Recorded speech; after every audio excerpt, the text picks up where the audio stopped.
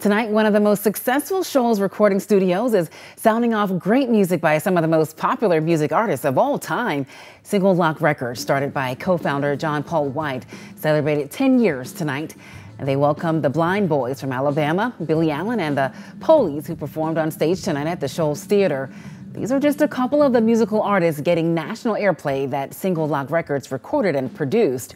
Echoes of the South by the Blind Boys from Alabama and Billy Allen and the Pollies.